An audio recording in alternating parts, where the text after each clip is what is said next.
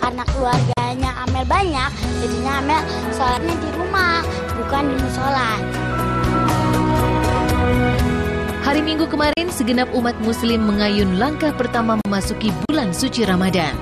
Gema azan berkumandang dari segala penjuru memanggil para jemaah berkumpul guna menunaikan salat tarawih. Di sebuah rumah di kawasan Ragunan, Jakarta Selatan, keluarga bintang cilik Amel Carla pun segera berhimpun di ruang tengah. Mengingat segenap keluarga besar Amel sedang berkumpul, ayahanda Amel memutuskan untuk menunaikan tarawih bersama di rumah saja. Nih, keluarga Amel yang ikut, uh, ibu, terus uh, kakak sepupu. Ini kakaknya Amel. Nah, ini nenek lagi sakit nih.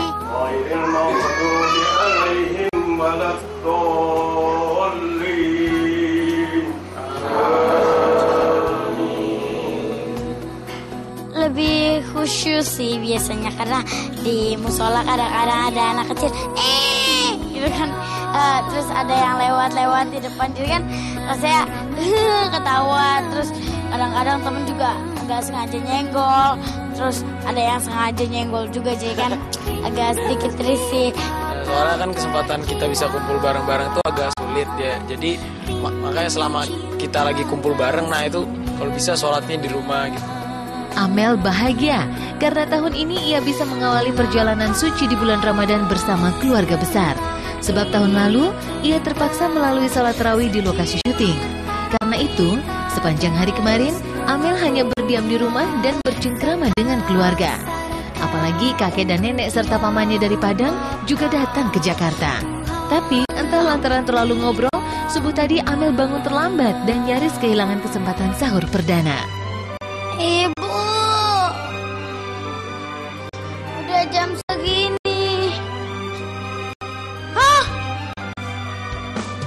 udah jam segini gimana ya tadi tadi makan, tinggal doang. Nih. ya Ayamnya satu.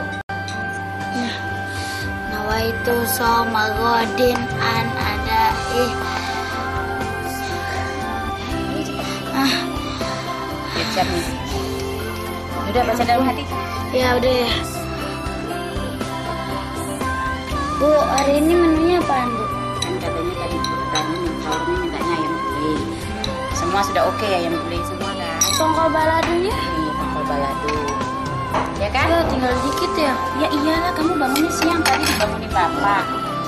Dibangunin bapak, dibangunin sama Mbak, Mbak Lintang. Semua bangunin Amel, tinggal Amel sendiri nih belum makan. Pagi tadi, Amel kontan menjadi pusat perhatian semua anggota keluarga. Selain sang bunda yang terpaksa menunggu, kakek dan nenek juga ikut mengingatkan Amel agar makan selekas mungkin sehingga tidak melewatkan imsak dan sholat subuh. Ini kan ini kan puasa pertama. Amel itu mestinya bangun sendiri, sudah janji kan jamnya sudah diputar tadi. Terus kakaknya juga sudah coba bangunin. Hmm, bapak tadi juga bangunin, tapi namanya nggak mau bangun.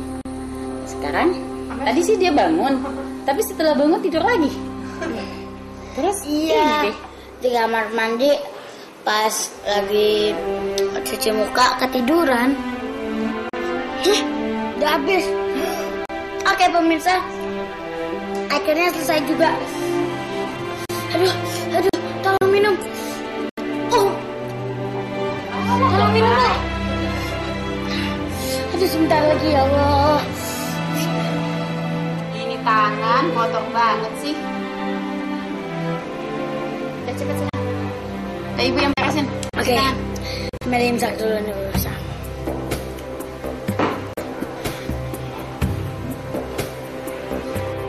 Seperti seorang siswi yang tengah dihukum karena tidak disiplin, Amel pun terpaksa makan dengan terburu-buru.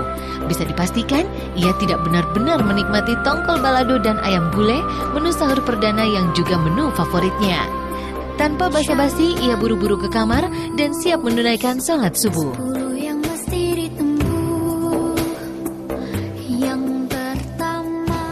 Oke pemirsa, sekarang Amel lagi pakai mukena nih. Oh ini dia.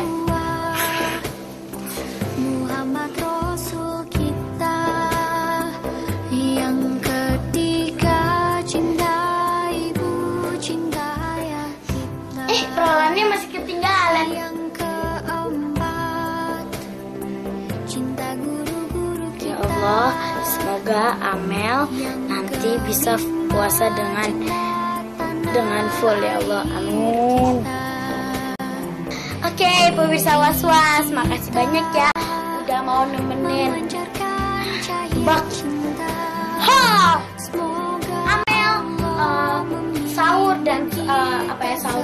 dan hari pertama puasa.